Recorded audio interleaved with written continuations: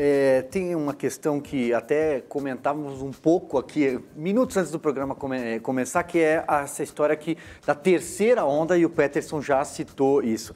É, há um pânico gigantesco é, aqui na América do Sul, no Brasil especificamente, quando a gente fala é, em segunda onda na Europa, porque começou lá até chegar aqui.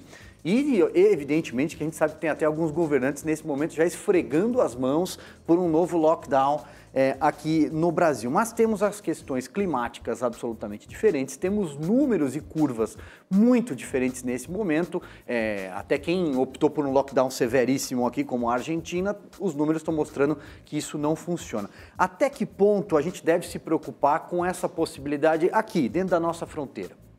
Dessa terceira onda ou da segunda Vamos onda? falar primeiro da segunda, é. para depois tentar entender o que, que, já é uma terceira onda, né? É. Nesse momento a gente vai, a gente está caminhando para o nadir, né, que a gente chama. A gente tem qualquer sistema dinâmico ele tem o, o zenith e o nadir. A gente está caminhando, eu, tô, eu não sei o que o, o Alessandro acha, mas a, a, gente olhando os gráficos, a gente está vendo uma aproximação do nadir aqui na, no Brasil. Né? O que, que, seria o nadir? O nadir seria uma, uma mínima. É, e a gente está vendo uma redução grande de casos. Em número de mortes? Em tudo, em número de mortes, número de casos é uma coisa que é um pouco é, complicado a gente tentar achar que dá muito valor para isso, quando na verdade acho que o, o Alessandro já definiu muito bem. O impacto da doença é mais importante do número de casos. Você tem, por exemplo, se o vírus entra num estado que a gente chama quase de uma endemia, no qual ele está circulando, mas causando pouca morte, porque a gente sabe lidar, seja que for, talvez os as pessoas mais. Eu não sei o que pode estar acontecendo exatamente, mas a gente poderia ter pessoas muito. A gente está vendo na Europa uma alteração no perfil etário das pessoas infectadas, se deslocando na direção de pessoas mais novas, que a gente sabe que os receptores para o vírus são menos é, frequentes em pessoas mais novas. Então, isso daí poderia estar fazendo que exista uma pressão do vírus de agora invadir os, digamos assim, os, os reservatórios populacionais, os espaços que eram mais dificilmente acessíveis.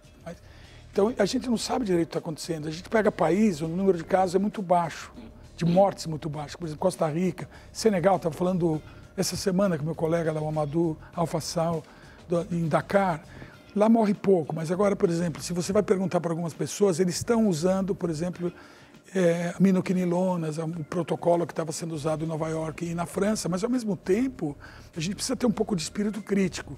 Porque o que está vendo acontecer lá é uma distribuição etária diferente, é um pouco parecido. Por exemplo, você pega um país que nem Portugal, eles estão apavorados. Portugal tem uma, uma pirâmide etária completamente invertida, que nem a Itália. Lógico que a consequência de um vírus que mata seguindo uma função dependente de idade vai ser muito mais importante em países como Itália e Portugal do que Costa Rica e Senegal, onde a gente vê pouca mortalidade, mas também vê tratamento precoce.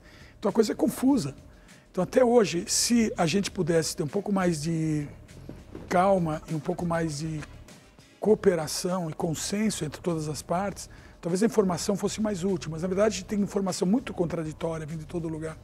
Então, é muito difícil de fazer qualquer coisa. Os dados que eu pedi aqui para as pessoas mostrarem o trabalho do Cacciapaglia, na Itália, onde você tem projeções dessa segunda onda que estão cabendo muito bem nos dados epidemiológicos, mostrando que, se for verdade o que eles estão prevendo, essa segunda onda não vai ser diferente da primeira, em termos não acumulado, mas se acumula, aumenta. Mas se a gente vê quanto que aconteceu na primeira onda, uma amplitude de mais ou menos é, o mesmo tamanho dessa amplitude de segunda onda, que está se comportando muito parecido com a primeira em número de casos, inclusive.